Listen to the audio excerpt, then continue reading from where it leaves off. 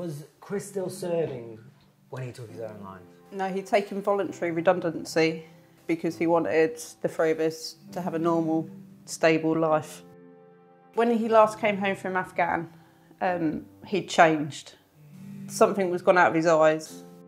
He wasn't the Chris that I'd married. We spoke about him getting help, and he promised me that he would.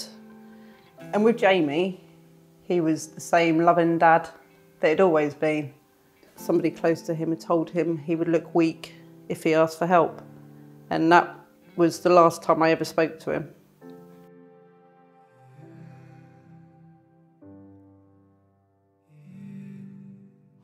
Come sit down. So tell me, how do you find talking about it, Jamie? I've started talking about it a bit more, but before I was just storing it up.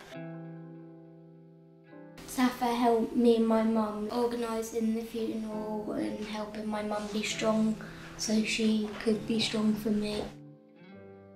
We found out on the Tuesday that Chris had died, and I phoned SSAFA on the Wednesday, and Sue, who was my caseworker, arranged to come round. The rest, they say, is history because she, she changed Everything. everything that we were going through. She was a very good heart to heart, cups of tea, allowed me to be normal, not be the grieving wife or someone trying to get their eight year old through it.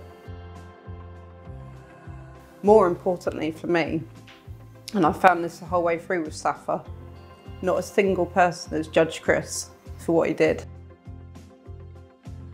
I, I know that there's numerous people in the London office or the Suffolk branch that I could phone at any time of the day or night And they'd help you. and they would be there for us. And to know that you've got that support, it's it's a lifeline. It really is.